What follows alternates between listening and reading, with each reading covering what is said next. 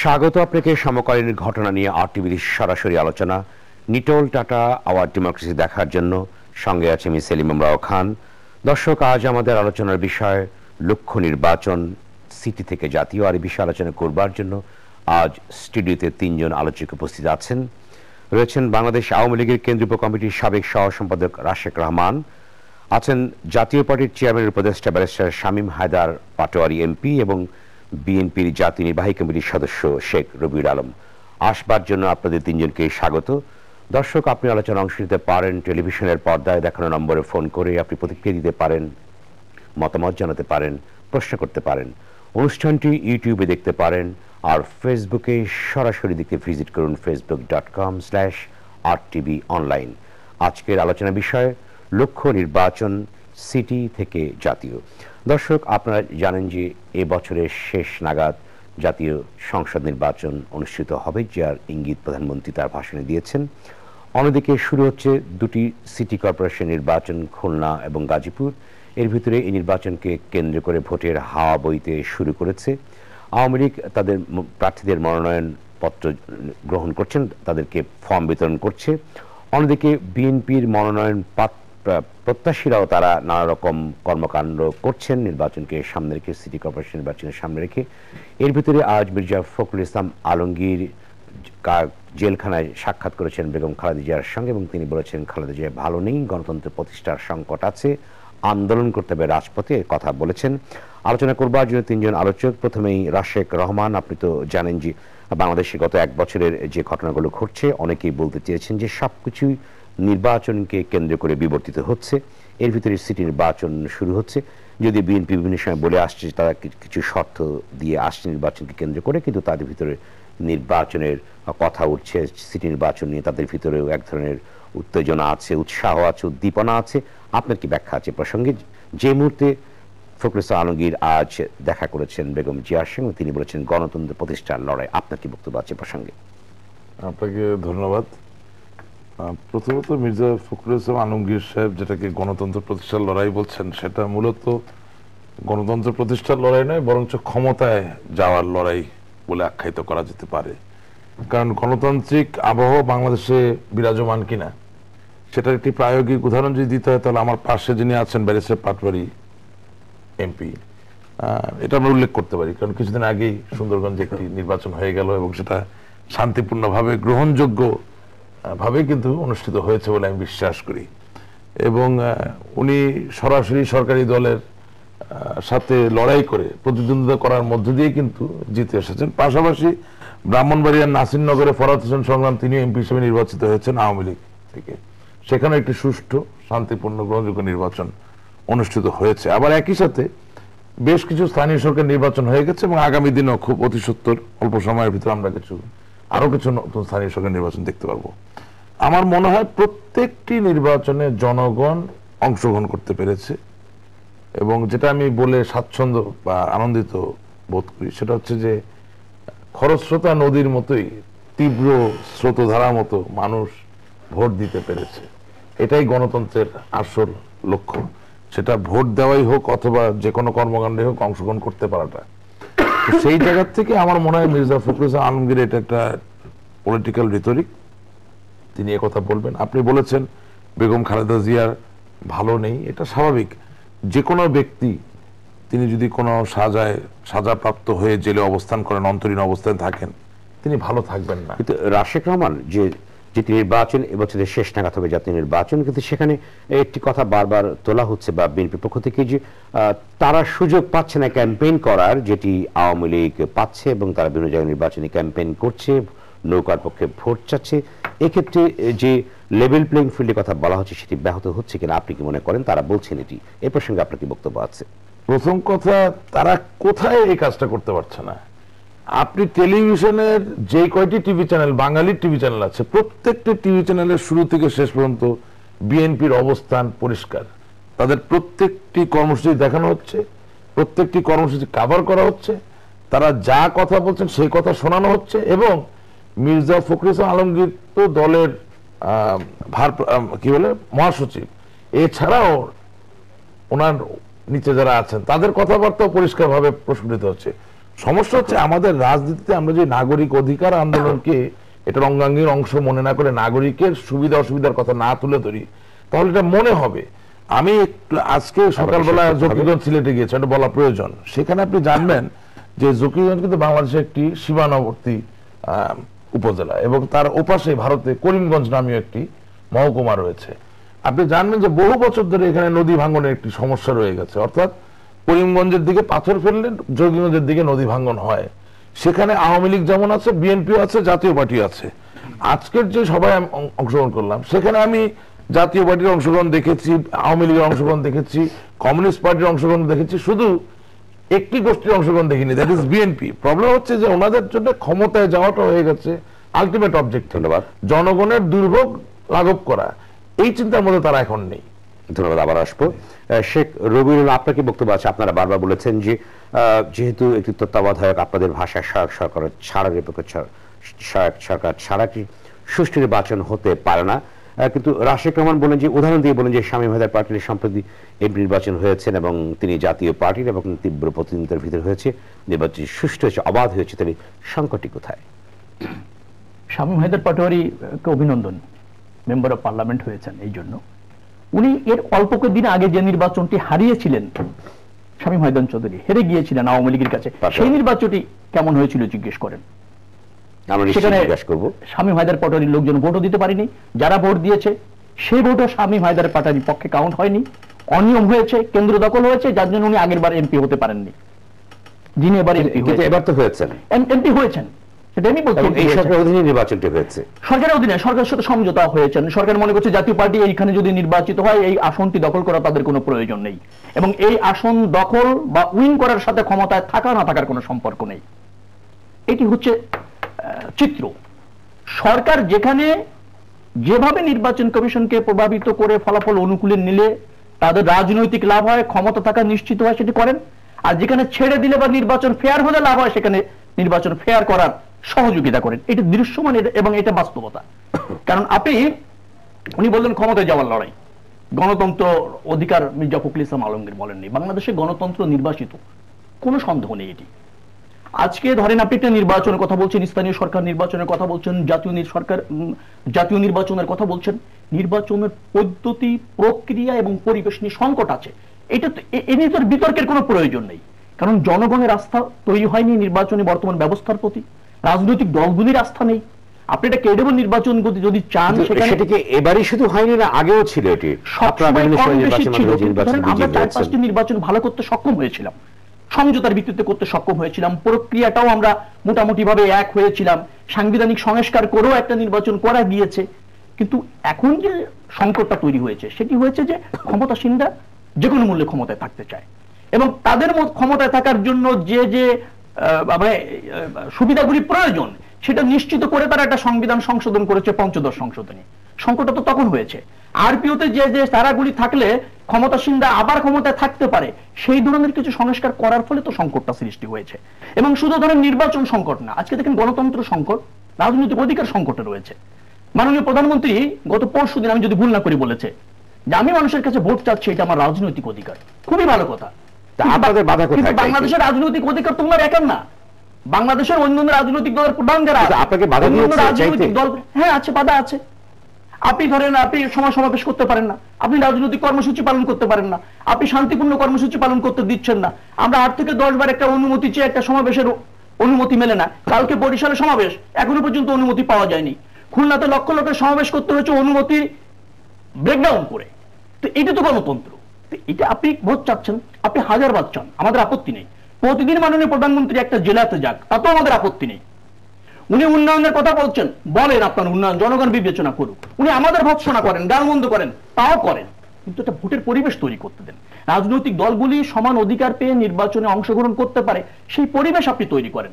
জনগণ নির্বাধায় তার পছন্দের তার থেকে ভোট দিতে পারে সেই সেই পরিবেশটা আপনি পরিবেশটি কি? আপনি সংক্ষেপে বলুন রবিউল আলম সেই পরিবেশটি কি আপনারা যে কাঙ্ক্ষিত পরিবেশের কথা বলছেন রাজনৈতিক দলগুলিকে প্রথমত তার রাজনৈতিক অধিকার ফিরে দিতে হবে। তার সভা সমাবেশ প্রচার প্রচারণার অধিকার ফিরে দিতে হবে। মিথ্যা হয়রানিমূলক মামলা দিয়ে দমন পীড়ন করা যাবে না। আইন শৃঙ্খলা রক্ষাকারী বাহিনীর সরকারের বিপক্ষে গেলেই যত্রতত্র ব্যবহার করা যাবে না। এক, দ্বিতীয়ত হচ্ছে যে, সব দলের অংশগ্রহণে জনগণের ভোটাধিকার প্রতিষ্ঠার একটা নির্বাচন যদি করতে হয়, যে অন্তরায়গুলি আছে, বিশেষ করে নির্বাচন কমিশন যখন সংলাপ আয়োজন করে, বিভিন্ন রাজনৈতিক দল প্রস্তাব দিয়েছে। তার মধ্যে থেকে যে প্রস্তাবগুলি সত্যিকার অর্থে বাংলাদেশের নির্বাচনকে ক্রেডেবল করবার জন্য প্রয়োজন, কিছু সাংবিধানিক সংস্কার আছে, কিছু প্রাতিষ্ঠানিক সংস্কার আছে কিছু ধরেন আরপিএর সংস্কার আছে, এগুলি করে একটা ঐক্যমতের ভিত্তিতে আপনাকে বাংলাদেশের নির্বাচনের আয়োজন করতে হবে। এখন আপনি ক্ষমতায় আছেন, আপনার অধীনে নির্বাহী বিভাগ, আপনি পার্লামেন্ট ভাঙতে চান না, আপনি আইন শৃঙ্খলার বাহিনীর সঙ্গে কোনো পরিবর্তন আনতে চান না, আপনি ক্ষমতায় থেকেই নির্বাচন করবেন, আর অন্য দলকে রাজনৈতিক অধিকার, নির্বাচনের অধিকার, জনগণকে তার সাংবিধানিক অধিকার, রাজনৈতিক অধিকার ডিপ্রাইভ করে যে কোনো মূল্যে ক্ষমতায় থাকার বাসনা যদি আপনার মধ্যে থাকে, তাহলে এই সংকটের সমাধান হবে না। আসব আপনার কাছে আবারও। শামীম হায়দার পাটিল এমপি আপনি বলুন যেটি শেখ রবিউল আলম বলবার চেষ্টা করেন যে আপনি যে সম্প্রতি নির্বাচনটি অনুষ্ঠিত হয়েছে সুন্দরগঞ্জে সেখানে সমঝোতার ভিত্তিতে আপনি বিজয়ী হয়েছেন। আপনার অবজারভেশনটা কি আছে যে নির্বাচনটি কেমন হয়েছে? আপনি বললে বিষয়টি স্পষ্ট হবে। সমঝোতার ভিত্তিতে আসন ছেড়ে দেওয়ার মতো দল আওয়ামী লীগ না অন্তত আওয়ামী লীগ ক্ষমতা থাকা অবস্থায়। ওটা তো জাতীয় পার্টিরই আসন ছিল সবসময়ই তাই। দু হাজার আট সালেও ছিল আগেও ছিল এর আগে ছয়বার জাতীয় পার্টির এমপি ছিল। এবং ওখানে আওয়ামী লীগ যে সত্তর হাজার ভোট পেয়েছে, এটা তো বিশাল ভোট এবং এই ইতিহাসের মধ্যে এর আগের ভোটটা বাদ দিলে বা পাঁচই জানুয়ারি ভোট বাদ দিলে এটাই হায়েস্ট ভোট মানে কন্টেস্টিং ভোটে নির্বাচন সুষ্ঠু হয়েছে না অসুষ্ঠু, এই তাত্ত্বিক বিবেচনা আমি যাব না, তবে একটা জিনিস কিন্তু সত্য বিএনপি যদি অংশগ্রহণ করতো নির্বাচনটা আরও সুষ্ঠু হতো। কারণ তখন আরেকটা এলিমেন্ট ফেয়ার করা আরেকটা এলিমেন্ট ওখানে থাকতো, আরেকটা করে পোলিং এজেন্ট থাকতো, কেন্দ্রের বাইরে আরও একটা বুথ থাকতো, সেই বুথে বিএনপির লোকজন থাকতো। ইনক্লুসিভ ইলেকশন বা ইলেকশনে অংশগ্রহণ নির্বাচন মানে সুষ্ঠু করার প্রথম শর্ত। আপনি মাঠ ফাঁকা করে দিলে সেটা কোনোদিনও সুষ্ঠু ভোট হবে না। এটা আমার ব্যক্তিগত সুষ্ঠু নয় গ্রহণযোগ্য গ্রহণযোগ্য গ্রহণযোগ্য গ্রহণযোগ্য। ক্রেডিবলটা ক্রেডিবিলিটি ইলেকশনটা হওয়ার প্রথম শর্ত। তো সেখানে দেখেন আপনি ঢাকা সিটি কর্পোরেশন নির্বাচনে বিএনপি কিন্তু প্রচুর ভালো করেছে। বারোটা পর্যন্ত ভোট করে। যদি চারটা পর্যন্ত করতো তাহলে আরও ভালো করতো। জয় পরাজয়টা পরে। আপনাকে কন্টেস্টে থাকতে হবে শেষ পর্যন্ত। ইটস এ রেস শুরু হবে গেজেট থেকে শুরু করে শিডিউল থেকে শুরু করে রেজাল্ট হওয়া পর্যন্ত রেস রেসের কোনো একটা জায়গায় আপনি সরে গেলেই কিন্তু ওয়াকওভার হয়ে গেল। আপনি রেসের শেষ পর্যন্ত থাকলে ওই ওয়াকওভার দিয়ে যা পাবেন, তার থেকে ভালো পাবেন। জয় পরাজয় সরকার গঠন অনেক অনেক বড় বিষয়, সেটা অনেক হিসাব নিকাশ, সেটা বিএনপির কৌশল আছে, আওয়ামী লীগের কৌশল আছে, কিন্তু রেসে থাকতে হবে, প্রথম কথা। এখন আপনার ইস্যুতে যদি আসেন, এই জাতীয় নির্বাচন এবং সিটি কর্পোরেশন নির্বাচন, এটা নিয়ে আমার কয়েকটা অবজারভেশন আছে, আমি একটু সুযোগ পেয়েছি যেহেতু বলব। একটা হচ্ছে সিটি কর্পোরেশন নির্বাচনের ভোটার লিস্ট আমরা এমপি ইলেকশন যে ভোটার লিস্টে করি, ঠিক সেই ভোটার লিস্ট দিয়েই আমরা সিটি কর্পোরেশন নির্বাচন করি। যেমন আমার ভোট আমার কনস্টিটিউয়েন্সি সুন্দরগঞ্জে। কিন্তু আমি ঢাকায় অনেক সময় থাকি, ঢাকায় ট্যাক্স দেই, আমার ছেলে মেয়ে ঢাকার স্কুলে পড়ে, আমার বাড়ির পাশের নালাটা পরিষ্কার হলো কি না এটা নিয়ে আমি অ্যাফেক্টেড ঢাকার পলিউশন নিয়ে অ্যাফেক্টেড ঢাকার বিশুদ্ধ বাতাস নিয়ে অ্যাফেক্টেড পানি নিয়ে অ্যাফেক্টেড কিন্তু ঢাকা সিটি কর্পোরেশন নির্বাচনে ভোট দিতে পারছি না। এইটা আমার কাছে মনে হচ্ছে, যেহেতু ট্যাক্স দিচ্ছি আমি এবার এখানে হোল্ডিং ট্যাক্স দিচ্ছি। তো এটা আমি একটা প্রপোজ রেখেছিলাম যে সিটি কর্পোরেশন নির্বাচনের জন্য আলাদা ভোটিং লিস্ট করা উচিত। কিছু কিছু লোক এতে রাজি হয়েছিল, কিছু কিছু লোক আবার বলেছে সমস্যা আছে। এটা আমার একটা প্রথম অবজারভেশন এর আপনি সিটি এবং জাতীয়কে মিক্সড করেছেন, আমি বলব এটা সম্পূর্ণ আলাদা করা উচিত। কনসেপশনটাই তাই। এবং আলাদা ছিল, যেমন বারো সালের ইলেকশনগুলোতে বিএনপি পন্থী মেয়ররা ম্যাসিভ বিজয় পেয়েছে। কিন্তু বিএনপি কিন্তু জাতীয় নির্বাচনে অংশগ্রহণ করে নাই। এটা কিন্তু আলাদাই আছে এক অর্থে সেখানে একটা প্রবলেম হয়েছে। কিছুদিন পর দেখা গেল এই মেয়রও সাসপেন্ডেড হয়েছে। এটা আমি ব্যক্তিগতভাবে সব জায়গায় বলেছি, নির্বাচিত জনপ্রতিনিধিকে সাসপেন্ড করা উচিত না এক্সট্রিম না হলে। এখানে মেয়রদের একটা দায়বদ্ধতা আছে। স্থানীয় সরকার ভোটে স্থানীয় ভোটাররা তাদেরকে ভোট দিয়ে মেয়র বানিয়েছে স্থানীয় সমস্যাগুলো সমাধানের জন্য। কিন্তু এনারা সবাই বিএনপি জাতীয় আন্দোলনে অংশগ্রহণ করে সরকারকে এটা সুযোগ করে দিয়েছে তাদেরকে সাসপেন্ড করা। আমি সাসপেনশনের তীব্র নিন্দা জানাচ্ছি। উইথ দ্যাট এক্সপ্লেনেশন যে তাদের উচিত ছিল তাদের নিজের শহরটা নিজের সিটি কর্পোরেশনটার উপর বেশি জোর দেয়া। বিএনপির আন্দোলনে অংশগ্রহণ অর্থাৎ আপনি বলতে চেয়েছেন যে স্থানীয় নির্বাচনটি হয় না করে কাজটি জাতীয় নির্বাচনের সাথে জাতীয় রাজনীতির সাথে বেশি সম্পৃক্ত হয়ে গেছে তারা। এটা একটা ভুল জিনিস হয়েছে বলে আমি মনে করি।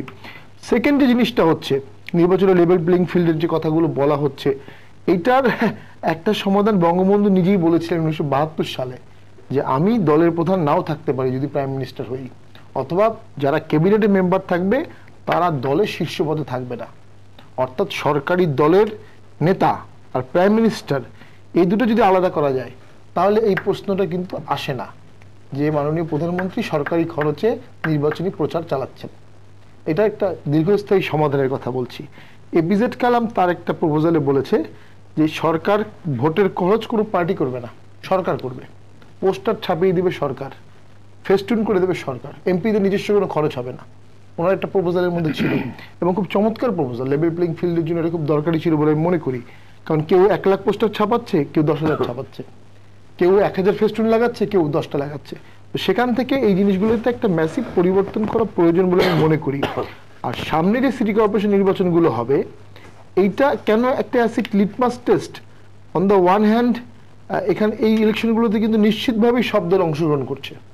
মোটামুটি আপাত দৃষ্টিতে আওয়ামী লীগ বিএনপি জাতীয় জাতীয় নির্বাচনের আগে সিটি কর্পোরেশন আপনি কি মনে করেন যে কোনো প্রভাব বিস্তার করবে না নির্বাচনের উপরে বা সামগ্রিকভাবে একটি প্রভাব বিস্তার করতে তো পারে জনমতের একটা একটা একটা তো জনমত তো আমরা আসলে ভাসমান একটা জিনিস আমরা বুঝতে পারি না।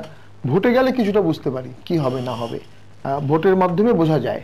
এবং এটা সব দলের জন্য একটা শিক্ষা যে এই ভোটটাতে তারা কীভাবে অংশগ্রহণ করল কতটা ভোট ক্যারি করতে পারল রেজাল্টটা কীভাবে আনতে পারল সব মিলিয়ে এটা অবশ্যই একটা মানে প্রিক্লুড হবে প্রলুক হবে ফাইনাল ইলেকশনের আগে একটা প্রিপারেশন গ্রাউন্ড তো দিয়ে হচ্ছেই এবং গুরুত্বপূর্ণ জায়গাগুলো সিটি কর্পোরেশনগুলো থেকেই তো আসলে ভোটের প্রভাবটা ছড়িয়ে পড়ে যেমন তা ঢাকাতে আপনি সংক্ষেপে বলেন যে আপনি যে নির্বাচনী সম্প্রতি করে আসলেন এখানে কোনো প্রভাবের কোনো বিষয় ছিল কিনা যেটা নিয়ে অনেকে বলবার চেষ্টা অবশ্যই আছে। আপনি কি মনে করেন সর আওয়ামী লীগ ক্ষমতায় থাকা অবস্থায় যদি কেন্দ্রীয় সিদ্ধান্ত হয়ে থাকে ভোটটা সুষ্ঠু করতে হবে।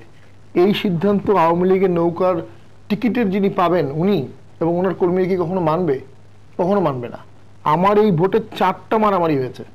ভোটের দিন যখন আমি রেজাল্ট নিচ্ছি তখন বাইরে সত্তরটা লোককে পিটানো হয়েছে আমার কর্মীদেরকে। তারা হসপিটালে গিয়েছে। এবং নট অনলি জি। নট অনলি দ্যাট এবং ছয়টা সেন্টারে ভোটের সিল মেরেছে সেটা ভোটের কাস্টিং দেখলে বোঝা যায় আশি পার্সেন্ট সত্তর ভাগ কাস্টিং এবং আওয়ামী লীগের শীর্ষ নেতা ব্যালট হাতে ধরাও পড়েছে। পাঁচ হাজার টাকা ফাইনও হয়েছে। অর্থাৎ নির্বাচনের দিন সরকারি আইন শৃঙ্খলা বাহিনী যাদেরকে ধরেছে সব আওয়ামী লীগের লোক। অর্থাৎ আইন শৃঙ্খলা রক্ষা বাহিনী মোটামুটি। ফেয়ার ফিলে কিন্তু। মানে খারাপ জিনিস যেটা হচ্ছে যতগুলো আইডেন্টিফাইড হচ্ছে সবই আওয়ামী লীগের। একটাও জাতীয় বাড়ি না। রাশেক রহমান আপনি কি মনে করেন? না প্রথম কথা হচ্ছে যে পাটোয়ারি ভাই স্থানীয় সরকার পর্যায়ে যারা নির্বাচিত, তাদেরকে কিছু কিছু নির্দিষ্ট ক্ষেত্রে সাসপেন্ড করার ব্যাপারে যে নিন্দা জানিয়েছেন এটা একটু পরিষ্কার করা দরকার।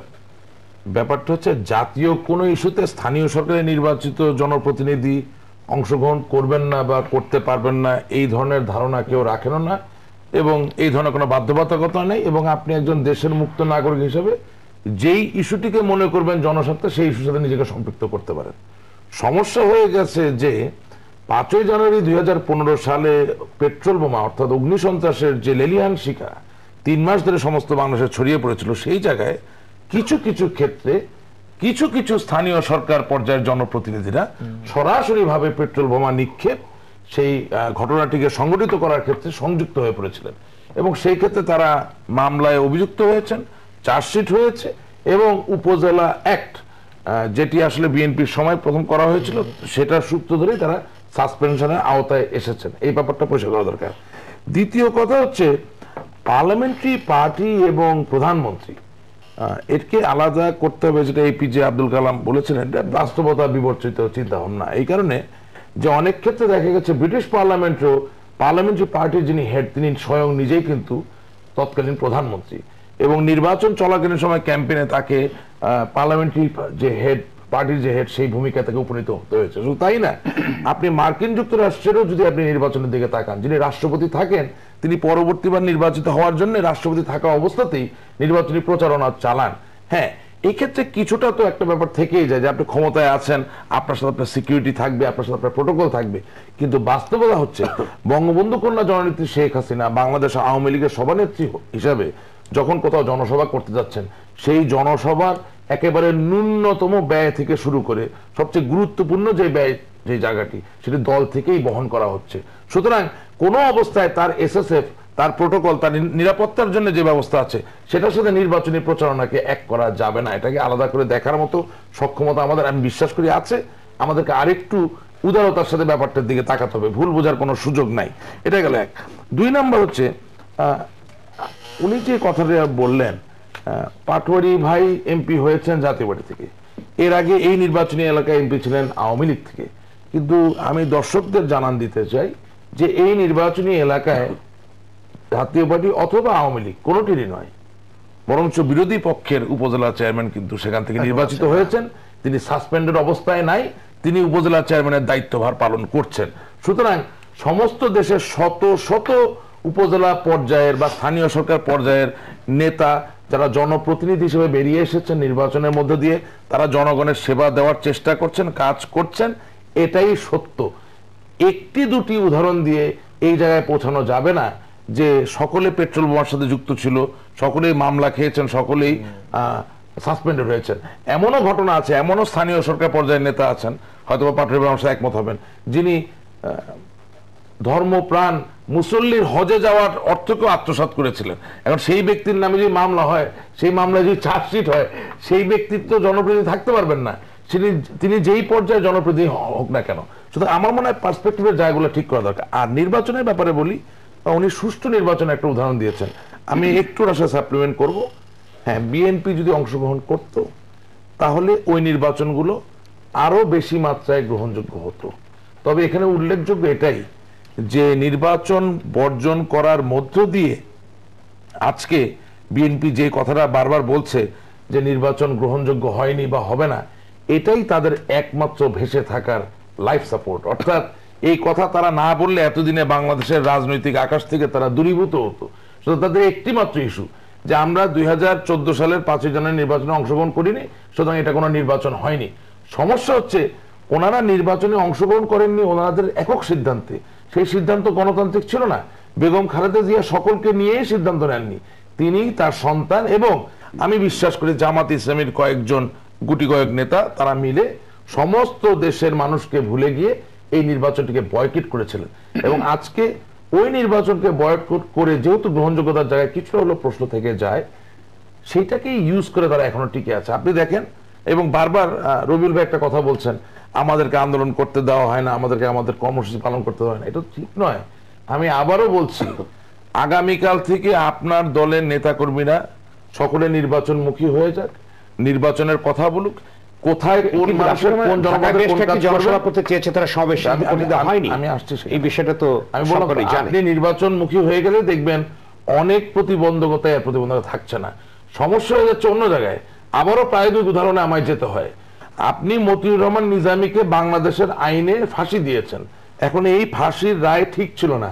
একে চ্যালেঞ্জ করে যদি আপনি জনসভা করতে যান, আপনি কীভাবে জনসভা করতে পারবেন? সুতরাং এই একই প্রকার প্রকৃতির বিষয়বস্তু নিয়ে যখন আপনি আন্দোলন করার চেষ্টা করছেন, যেখানে জনসাধারণের সম্পদের ক্ষতি হতে পারে প্রাণের হানি হতে পারে সেই জায়গায় সরকার তো তার যে মূল কাজ সেই জায়গায় না তা তো স্বরাষ্ট্রমন্ত্রীর সঙ্গে দেখা করেছে কিন্তু একটি জনসমাবেশী করতে পারতো না তারা একতার সংগীত হওয়ার কারণটা কি যেখানে স্বরাষ্ট্রমন্ত্রীর সাথে দেখা করা মানে এই নয় যে যেটি গর্হিত কাজ সেই গর্হিত কাজটি কি তারা গ্রহণযোগ্য তারা বলেছে এটা গঠিত কারণ No, no, সমাবেশ করতে আমি আবার বলছি তারা সমাবেশ করতে চেয়েছেন কিন্তু যেই কারণে করতে চেয়েছেন সেটা আমাদের বিশ্লেষণ করতে হবে। আমি আর- সুতরাং আসব আবার কাছে আপনার আম- কাছে। আমার সমাবেশ করার কারণ যদি নির্বাচন হয়ে থাকে আমার সমাবেশ করার কাজ যদি আপনার আমার জীবন মানের উন্নয়নের কারণ হয়ে থাকে সেই সমাবেশ করায় কেউ বাধা দিতে পারেন না।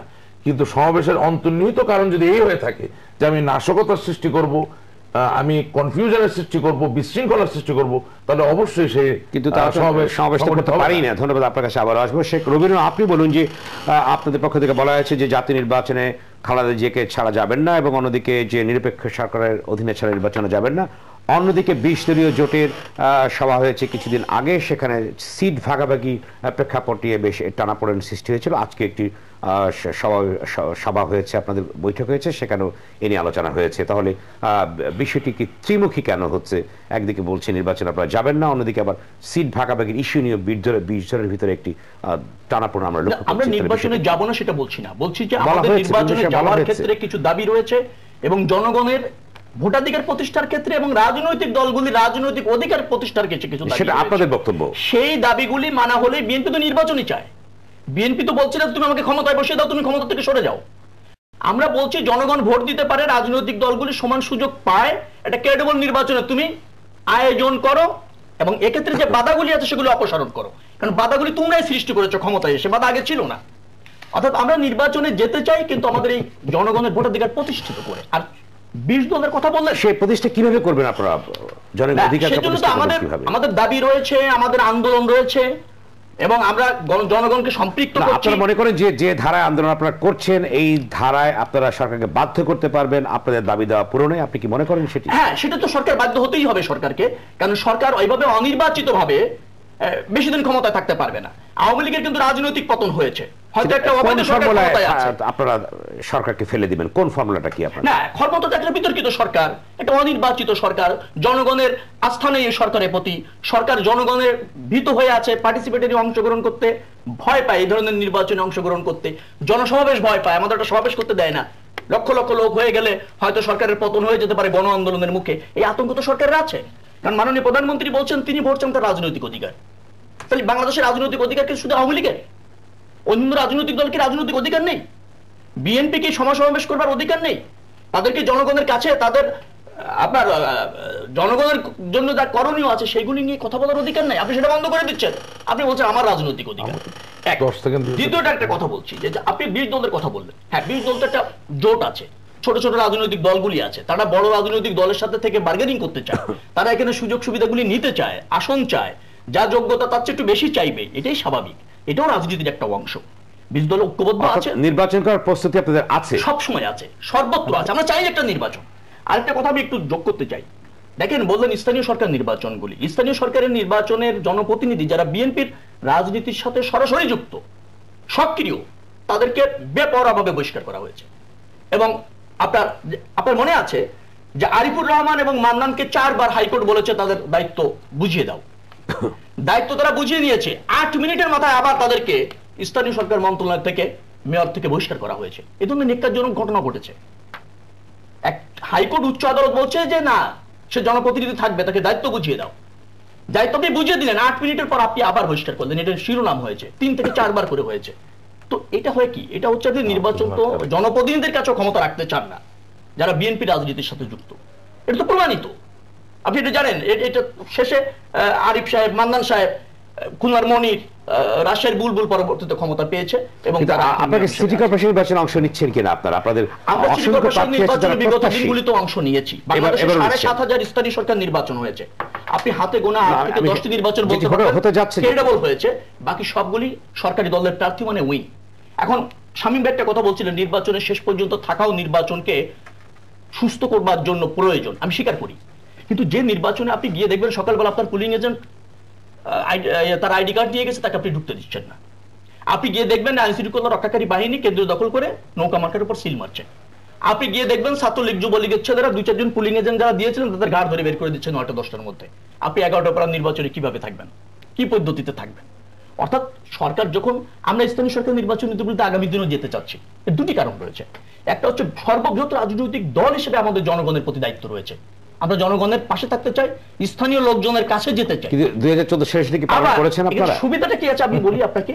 সেটা হচ্ছে যে আবার জনগণ যখন নির্বাচনে ভোট দিতে যাচ্ছে গিয়ে দেখছে যে আওয়ামী লীগ রাজনৈতিক নেতাকর্মীরা কেন্দ্র দখল করেছে আইন শৃঙ্খলা রক্ষাকারী বাহিনী কেন্দ্র দখল করছে জনগণ ভোট দিতে পারছে না। যার ফলে আমাদের যে জনগণের ভোট ভোটাধিকার প্রতিষ্ঠার যে আন্দোলন আছে সেই আন্দোলনে জনগণের সম্পৃক্ত হবার একটা সুযোগ তৈরি হচ্ছে। যা এই কারণে আমরা স্থানীয় সরকার নির্বাচনগুলিতে পার্টিসিপেট করেছি এবং আমরা জনগণকে বুঝাতে সক্ষম হয়েছি যে আওয়ামী লীগ সত্যিকার অর্থে জনগণের অধিকার হরণ করেছে। তারা নির্বাচন ম্যানিপুলেট করছে, তোমাদের ভোট দেওয়ার সুযোগ নেই, তোমরা নিজেরা সচককে দেখো। এবং এর ফলে ক্রমান্বয়ে কিন্তু জনগণ বিএনপির প্রতি তারা সমর্থিত হচ্ছে বিএনপির আন্দোলনে তারা শরিক হচ্ছে এবং আগামী দিনে জনগণের অধিকার প্রতিষ্ঠার কিন্তু দৃশ্যমান আমরা বিষয়টা করবে, সেখানে আহ, জনগণ অনেকে বলছি সেটা দৃশ্যমান হচ্ছে আমি আপনার কাছে আবার আসব স্বামী পাটোয়ারি। আমি আপনার কাছে একটি প্রশ্ন রাখি যেতে চাই সেটা হচ্ছে যে আওয়ামী লীগের পক্ষ থেকে বলা হয়েছে যে যে সমাবেশের তারা দাবি করেছে সেখানে একটি দুর্ঘটনা ঘটতে পারতো কিংবা যে নাশকতামূলক ঘটতে পারতো এই জন্য দেওয়া হচ্ছে না। এটি কতখানি যৌক্তিক আপনি এই প্রসঙ্গে বলবেন একটি বিরতি যেতে হচ্ছে আমাদের। দর্শক সময় হলে বিরতি আপনারা দেখছেন আলোচনা অনুষ্ঠান নিটল টাটা ডেমোক্রেসি ফিরছি শীঘ্রই সঙ্গেই থাকুন। স্বাগত আরেকবার সমকালীন ঘটনা নিয়ে আর টিভির সরাসরি আলোচনা অনুষ্ঠান। নিটোল টাটা ডেমোক্রেসিতে সঙ্গে আছে মিস আমরাও খান। আলোচনার বিষয়ে লক্ষ্য নির্বাচন, সিটি থেকে জাতীয় আলোচনা করবার জন্য স্টুডিওতে আছেন রাশেক রহমান, ব্যারিস্টার শামীম হায়দার পাটোয়ারি এমপি এবং শেখ রবিউল আলম। আমি একটু শেষ করি, শামীম হায়দার পাটোয়ারিকে যে কথা বলছিলাম যে রাশেক রহমান বললেন যে যেটি সরওয়ার্দ উদ্যানের যে অনুষ্ঠানগুলো হওয়ার কথা ছিল কিংবা সমাবেশ হওয়ার কথা ছিল। কয়েকবার তারা বিএনপির পক্ষ থেকে চাওয়ার পরও বলেছেন সেখানে আসার কথা হতে পারে কিন্তু আপনারা একটি স্মুদি করেছেন সেখানে। তাহলে গণতান্ত্রিক প্রক্রিয়া আপনি মনে করেন কি না যে এটি তাদের যথাযথ অধিকার দেওয়া হচ্ছে না? আপনি কি মনে করেন? একটা তো হলো সমাবেশ করার অধিকার সবার আছে সংবিধান বলছে তবে সাবজেক্ট টু রিজনেবল রেস্ট্রিকশন এইখানে একটা আইনের ফাঁক আছে। এই রিজনেবল রেস্ট্রিকশন এটার ব্যাখ্যা কে দেবে? এটার ব্যাখ্যা দেবে বাংলাদেশের প্রেক্ষাপটে পুলিশের ডিএমপির যিনি হেড অথবা স্বরাষ্ট্র মন্ত্রণালয় অথবা কোট আনকোট আলটিমেটলি গভর্নমেন্ট এটা বাংলাদেশের প্রেক্ষাপটে এ পর্যন্ত কি দিয়েছে? হ্যাঁ, অবশ্যই। সরকারের পক্ষ থেকে এমন না, কোনো প্রেস রিলিজ কি দিয়েছে কিনা? না যদি কখনো রিফিউজ করে তাহলে তো একটা কারণ দেখেই রিফিউজ করে যে এখানে নিরাপত্তা সমস্যা আছে বা রিজনেবল রেস্ট্রিকশন দেখে দেয়। এখন আমি ব্যক্তিগতভাবে চাই বিএনপি অবশ্যই সমাবেশ করুক। এই মুহূর্তে প্রেক্ষাপটে বিএনপি যদি সমাবেশ করে সেখানে স্বাভাবিকভাবে আলোচনা হবে খালেদা জিয়ার জেল বেল না হওয়া এবং জুডিশিয়ারির বিরুদ্ধে কথা বলা। সেখানে এজিটেশন হতে কিন্তু অলমোস্ট বাধ্য। তো সেখানে সরকার এটা যারা দেশ চালাচ্ছে তাদেরও কিছু ডিসক্রিপশন থাকে। তারা কি করবে? বিএনপিকেও এই কনফিডেন্সটা দিতে হবে যে তারা একদম পিসফুল করবে। এবং সবসময় একটা অল্টারনেটিভ রাখতে হবে। সোয়ার্দি সোয়ার্দি হলে আরেকটা আরেকটা হলে আরেকটা। সোয়ার্দির জায়গায় আরেক জায়গায় হলে বিএনপির পলিটিক্যাল কোনো লস নাই। বিএনপির ভোট ব্যাংকের কোনো নাড়াচাড়া হবে কিন্তু তাদের পার্টি দলীয় কার্যালয়ের সামনে তো শান্তিপূর্ণ সমাবেশে বাধা দেওয়া হয়েছে। আপনি জানেন যে হ্যাঁ। আহ, পানির কামান দাগানো. হয়েছে অনেক কিছু ঘটেছে। সেটা এগুলো এগুলো একটা সামগ্রিক সমাধান দরকার। আপনার দলীয় কার্যালয় আওয়ামী লীগ বিএনপি জাতীয় পার্টি কেউই দলীয় কার্যালয়ের সামনে করবে কারণ পাবলিক রাস্তা। তাহলে কোথায় করবে? হ্যাঁ, এইটাই এই সমাধানটা কেউ করেনি। কোনো পার্টি করে আপনারা সরকার যদি করে আওয়ামী লীগ করল তাহলে তাদের আমাদের আমাদের আমাদের রাজনীতি- আমাদের রাজনীতিতে বর্তমান প্রেক্ষাপটে সংঘাতময় একটা রাজনীতি অস্বীকার করব না আমরা। আওয়ামী লীগ বিএনপির মধ্যে একটা সংঘাতময় অবস্থা চলছে। সেই সংঘাতময় অবস্থাটা জাতীয় পার্টির সাথে বিএনপিরও নাই জাতীয় পার্টির সাথে আওয়ামী লীগেরও নাই। জাতীয় পার্টি শান্তিপূর্ণ অবস্থানটাই ধরে রেখেছে এবং প্রেক্ষাপটটাই তাই। এই প্রেক্ষাপটে জাতীয় পার্টির সাথে অন্য দলগুলোকে এখন মিলানো যাবে না। অবশ্যই বিএনপি আওয়ামী লীগের ক্ষেত্রে সংঘাত আপনি বিএনপি আওয়ামী লীগ পাশাপাশি মিটিং করতে পারবে?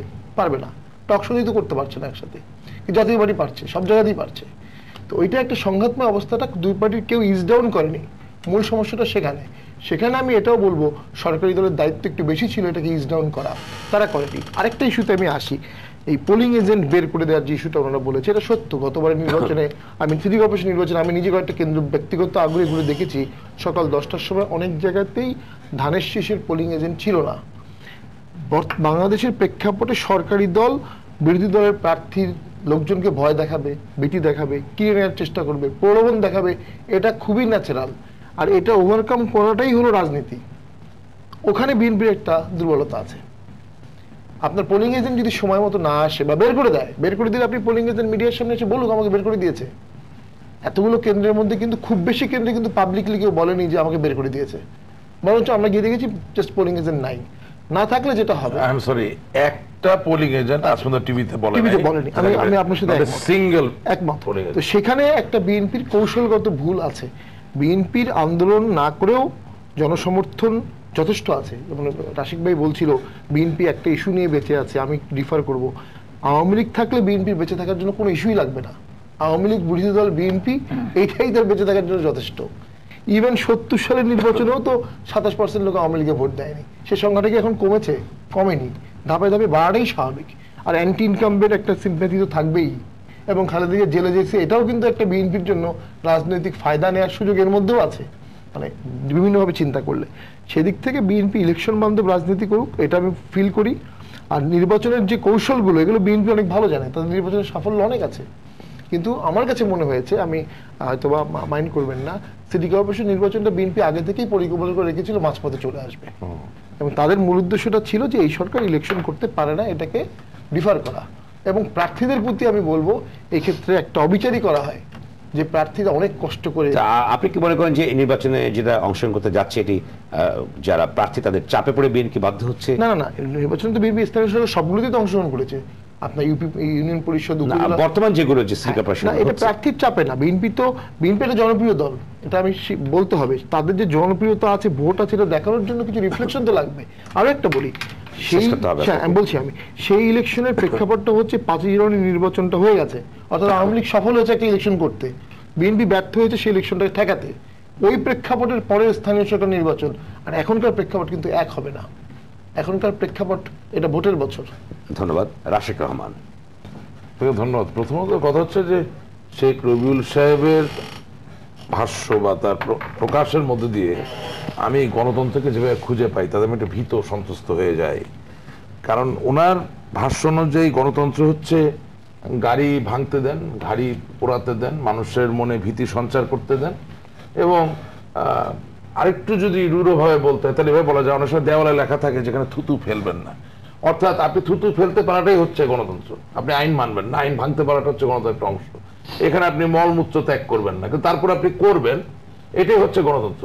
এই গণতন্ত্রের ধারণা নিয়ে যদি আমাদেরকে সামনের দিকে এগোতে হয়, তাহলে যেই বাংলাদেশটা আমরা দেখতে চাই, বঙ্গবন্ধু শেখ মুজিবুর রহমান যে স্বপ্ন দেখে বাংলাদেশকে স্বাধীন করেছিলেন, সেই বাংলাদেশ কোনো আনয়ন করা সম্ভব না। অর্থাৎ দুই হাজার আঠারো সালের আমাদের আর্থসামাজিক প্রেক্ষাপটে যে পরিবর্তন এসেছে ইতিবাচক পরিবর্তন সেটাকে আমলে নিয়েই আমাদেরকে আমাদের রাজনীতিকে সাজাতে হবে। এবং গণতান্ত্রিক অভিযাত্রায় কি ধরনের আন্দোলন করবেন কি ধরনের সংগ্রাম করবেন সেটা মানুষের জীবনধারার সাথে মিল রেখেই করতে হবে। অর্থাৎ আহ, জ্বালাও যে আন্দোলন ভাঙচুরের যে আন্দোলন তাকে পরিত্যাগ করে সামনের দিকে এগোতে হবে। এটা হচ্ছে এক। আর দুই নম্বর কথা হচ্ছে নির্বাচনমুখী যদি আপনি হন তাহলে আগামীকাল থেকে আপনি একটা বিশাল বড় ফ্লেভারের চেঞ্জ দেখবেন। সমস্যা হচ্ছে আকুতির রাজনীতি আপনার আমার চোখে পড়ছে এই কারণে যে জনগণের কি প্রয়োজন এবং জনগণকে আপনি আগামী দিনে কীভাবে সেবা করবেন, সেই কথা তো আপনি গণমাধ্যমের সামনে বলছেন না। আপনি আছেন আপনার বাড়ি, আপনার ছেলের মামলা, আপনার নিজের মামলা, এগুলো নিয়ে আলাপে। অর্থাৎ জনগণকে বাদ দিয়ে, গণতন্ত্রের সবচেয়ে বড় যে অংশটা, জনগণের চাহিদাকে বাদ দিয়ে আপনারা একটা অনন্য ধারা রাজনীতি প্রতিষ্ঠিত করতে যাচ্ছেন, যেটা কখনোই দেখতে বা শুনতে ভালো লাগবে না, এটাই বাস্তব। এবং আমি দায়িত্ব নিয়ে এখানে বলতে চাই, বাংলাদেশ সরকারের কোনো পর্যায়ের কোনো ব্যক্তির ক্ষমতা নাই যদি বাংলাদেশের সুপ্রিম কোর্ট কোনো ব্যক্তিকে মুক্ত করতে বলেন অথবা সাসপেনশন থেকে তার স্বাভাবিক জায়গায় নিয়ে আসার নির্দেশ দেন, সেই নির্দেশ অমান্য করবে। এটা শেখ রবিউল সাহেবের সম্পূর্ণভাবে একটি ভ্রান্ত স্টেটমেন্ট এই স্টেটমেন্টের মধ্যে দিয়ে জনগণ বিভ্রান্ত হবে এবং আমাদের সরকার যে সুপ্রিম কোর্ট এবং আদালতের প্রতি শ্রদ্ধাশীল, সেই জায়গাটা নরবরে হয়ে যাওয়ার একটা সম্ভাবনা আছে। এইভাবে বলতে বলতেই প্রভাকাণ্ডা একদম একদিন সত্যের মতো শোনা যায়। আমি আবারও দায়িত্ব নিয়ে বলছি, এই ধরনের কোন রকম কোনো ঘটনা ঘটেনি। হ্যাঁ আদালতের বিভিন্ন পর্যায়ে আছে। নিশ্চয়ই যারা সাসপেন্ডের অবস্থায় ছিলেন, তারা আদালতে গেছেন। সেখান থেকে তারা একটা রায় পেয়েছেন। সরকার আপিল করেছেন। সরকার আবার ব্যবস্থা নিয়েছেন। তারপর হয়তোবা কোর্ট আবার একটা রায় দিয়েছেন। চূড়ান্ত যে রায় সেই রায়ের বিরুদ্ধ চারণ করার সক্ষমতা সরকারের যেমন নেই, ঠিক একই সাথে যারা রিলিফ চাচ্ছেন, তাদেরও কিন্তু নাই। সুতরাং আমি শেখ রবিউল ভাইকে একটা আহ্বান জানাব প্লিজ টেলিভিশনের সামনে মানুষকে ভ্রান্ত ধারণা দিবেন না। এবং যাদের নাম ধরে তিনি কথা বললেন, তারা কিন্তু প্রত্যেকে এখন তাদের স্থানীয় সরকার পর্যায়ের যে আসন, গদি, সেখানে কিন্তু আসীন অবস্থায় আছেন এবং কাজ করছেন অনেকেই। সুতরাং আমার মনে হয় দিস ইজ ভেরি রং এটা আনজাস এবং আমি শুধু একটা জিনিস কি আসলে কি তথ্য যখন যেভাবে আপনি বলেন না না আপনি বলেন আমার শেষ আছে, বলেন আপনি শেষ করতে দরকার নাই আপনি বলবেন। রহমান, আপনাকে অসুবিধা নাই। হবে। শুনেন এই ব্যাপারটা তো প্রতিষ্ঠিত যে বাংলাদেশে আজকে যে কোনো সমস্যা যেটা নির্বাহী ক্ষেত্রে সমাধান করা যাচ্ছে না যেটা রাজপথে সমাধান করা যাচ্ছে না সেটা কিন্তু ঠিকই আদালতে গিয়ে একটা সমাধান পাওয়া যাচ্ছে। এবং সেই সমাধানটা অনুসরণ করতে হচ্ছে। সুতরাং বিতর্ক করার জন্য বিতর্ক করার কোনো প্রয়োজন নাই। এতে আমারও কোনো সুখ নাই আপনারও কোনো সুখ নাই। আমি শুধু এতটুকু বলতে চাই এটা আমাদের সকলকেই মেনে নিতে হবে। দেখেন যেটা আমাদের এমপি সাহেব রাশিদ আমাকে কথা বলতে দেন। এমপি সাহেব যে কথাটা বললেন আপনাকে প্রথমত জনগণের উপরে আস্থা রাখতে হবে। এবং এটা কিন্তু বাস্তব। যে যে কোনো সিটি কর্পোরেশন নির্বাচন বলুন বা যে কোনো পর্যায়ে নির্বাচন বলুন, সেখানে শত শত হাজার হাজার পোলিং এজেন্ট থাকে। যদি এতই পোলিং এজেন্টদেরকে ঘাট ধাক্কা দিয়ে বের করে দেওয়া হয়ে থাকে, তাহলে আজ পর্যন্ত একজন পোলিং এজেন্ট আমরা পেলাম না, যে গণমাধ্যমের সামনে বলল যে এতটার সময় অমুক সন্ত্রাসী আমাকে ঘাট ধাক্কা দিয়ে বের করে দিয়েছেন। অথবা আজ পর্যন্ত একটা লিখিত অভিযোগ আমরা নির্বাচন কমিশনে পেলাম না, যেখানে একজন পোলিং এজেন্ট তার ক্রেডেন্সিয়ালের কাগজটি জমা দিয়ে বললেন যে আমি অমুক নির্বাচনে অমুক প্রার্থীর জন্য পোলিং এজেন্ট ছিলাম এবং আমাকে সেই নির্বাচন কেন্দ্রে ঢুকতে দেওয়া হয়নি বা বের করে দেওয়া হয়েছে। সুতরাং।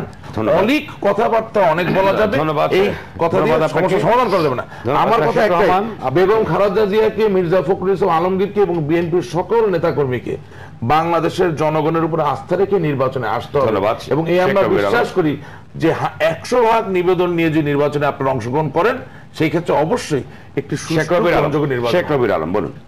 না রাশিদ ভাই যে কথাটা বলছিলেন সেটা উনি সঠিকভাবে বোঝেন নাই হয়তো আমার কথা আমি কম- ব্যাখ্যা করতে গিয়ে মনে হয় ওই ট্রাকচ্যুত হয়েছে। একটু কম বুঝেছি হ্যাঁ ট্র্যাকচ্যুত হয়েছে। আপনি আরিফুর আরিফুল হককে সিলেটের তিনবার হাইকোর্ট থেকে আদেশ নিয়ে যেতে হয়েছে। সরকার যেন তাকে আবার নতুন করে ক্ষমতা দিয়ে দেয় তার বহিষ্কার শপথও করা হয়েছে। এবং সর্বশেষ হচ্ছে উনি আট মিনিটের মাথায় আবার বহিষ্কার হয়েছেন আদেশ পাওয়ার পর। তো একটা আদালতকে তিন তিনবার আদালতের দ্বারস্থ হয়েছে আদালত তাকে বৈধতা দিচ্ছে সরকার দিচ্ছে না। আমি বুঝাতে চেয়েছি যে সরকারের ইন্টেনশনটা এরকম বিএনপির যে নেতারা যেখানে জনপ্রিয় যে নেতারা যেখানে জনগণের প্রতিনিধিত্ব করছে তাদেরকে জনগণ থেকে দূরে রাখার একটা সরকারের অপচেষ্টা এটা প্রমাণিত। সেটি আমি বলেছি। আরেকটা জিনিস ওই যে বললেন চলে আসছি আমরা। মানে সমস্যা হলো- ইচ্ছা যখন ইচ্ছা একটা সরকারের- ইচ্ছা যে কোনো প্রয়োজন কোনো Attorney সমস্যা নেই। General কি করবে? সেটা সোহরাওয়ার্দী উদ্যান হোক। সেটা নতুন করে আপনি সারা ঢাকা শহর ক্রস করে কি হয় সমস্যা আপনি খুলনাতে যান বিধবা ভাতা নেন সমাবেশে আসতে হবে। ব্যাপার। বয়স্ক ভাতা নেন সম- সমাবেশে আসতে হবে। আপনি যদি মুক্তিযুদ্ধের ভাতা চান সমাবেশে আসতে হবে। আমি এক শেষ পর্যায়ে আলোচনা বাক্য শেষ করতে চাই সেটা হলো যে আপনি বাংলাদেশের জনসমাবেশে সন্ত্রাস হয়েছে বিশৃঙ্খলা হয়েছে এর কোনো রেকর্ড নেই। শব্দদের ক্ষেত্রেই আমি বলছি। এখন আপনি বিএনপিকে সমাবেশ করতে দিবেন না। আপনি বলছেন যে আচ্ছা, আমি-। একটা যে বুঝতে বিএনপি। জনসমাবেশে নাশকতা করেছে? কথা বলার মধ্যে কি বলতে কখনো যে বাংলাদেশ সরকার আদালতের নির্দেশনা মানে না উনি কি আসলে বলতে চাচ্ছেন কোনটা? এটাকে গ্রহণযোগ্য কথা হতে না না সেটা তো করেছে তিনবার করেছে বহিষ্কার general এর তাকে। কাজ কি? তিনবার বহিষ্কার করেছে সরকারের তাকে। প্রতিনিধিত্ব তিনবারই আদালত তাকে আবার পুনরায় ক্ষমতা দেওয়ার জন্য বলেছে। যদি কোনো রায় দেয় নিয়ে তিনবার। সেটা যদি সরকারের মনোপুত না হয় সে আপিল করবে এটাই বাস্তব না, না, না, না, আবার তো আবার একই আমার সাথে যিনি এটা আপিলের বিষয় বিবাদী তিনিও আপিল করবেন। আপনি আপিল করেনই তো। আপনি আবার আমার মতো কিছু হতে পারে কিন্তু আমি একটু বুঝতে পারছি ব্যাপারে না interfere করলাম। যে আপনার আপনি তো আমার রাজনীতির কারণে কি আপনি আমার বাংলাদেশের বক্তব্যটা যিনি প্রধান কৌশলী তার সংজ্ঞাটা আমরা পরিবর্তন করব। আপনি যেটা বলেছেন, আপনি না বলেছেন। আদালতের কাজ আদালতের আমরা পরিবর্তন করব। এটা কোনো কথা হতে পারে। আমাদের আপনি শেষ করেছেন করতে তো। আমরা আপনার সময় দিতে পারছি না। রাজনীতি বাংলাদেশের আদালত অনেক আপনাকে উল্লেখ করেছে। অনেক হায়দার, ক্ষুদ্র আপনি- বাংলাদেশের স্বার্থের শামীম হায়দার পাটোয়ারি 10 সেকেন্ডে বলুন যে আমরা এই সংস্কৃতিকে বেড়ে একটি অংশগ্রহণ করতে পারব করতে পারব কি সামনে পারবেন 10 সেকেন্ডে বলুন পারবেন না। কারণ হচ্ছে যে আমরা সত্যিকার অর্থে গণতান্ত্রিক সংজ্ঞাই ধন্যবাদ। ধন্যবাদ আপনাদের। ধন্যবাদ রাশেক রহমান ধন্যবাদ শামীম হায়দার পাটোয়ারি এমপি ধন্যবাদ শেখ রবিউল আলোচনায় সময় দেওয়ার জন্য। আপনারা যারা টেলিভিশনের পর্দায় এবং ফেসবুকে আলোচনা অনুষ্ঠান শুনছেন আপনাদেরকে ধন্যবাদ জানিয়ে রাখি। নিটল টাটা ডেমোক্রেসি অনুষ্ঠানটি সপ্তাহে শুক্র, শনি এবং রবিবার সম্প্রচার হয় দেখার আমন্ত্রণ। সবাই ভালো থাকুন, সুস্থ থাকুন, নিরাপদে থাকুন।